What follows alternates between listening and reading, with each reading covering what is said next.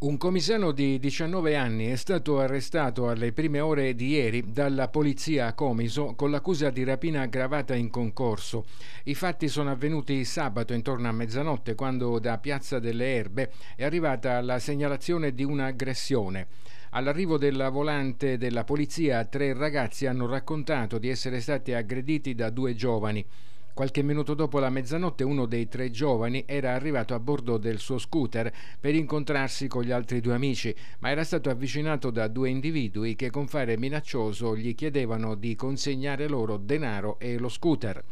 Al suo diniego i due cominciavano a picchiarlo, ma il giovane riusciva a dirigersi verso i suoi due amici, che accortisi di quanto stava avvenendo, sono andati in suo aiuto, ma sono stati a loro volta aggrediti.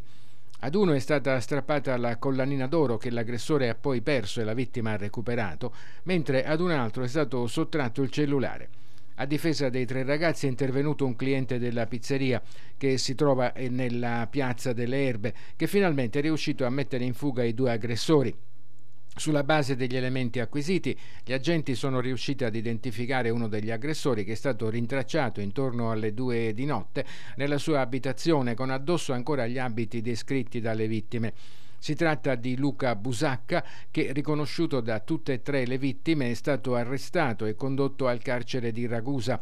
Rimane al momento ignoto l'altro aggressore.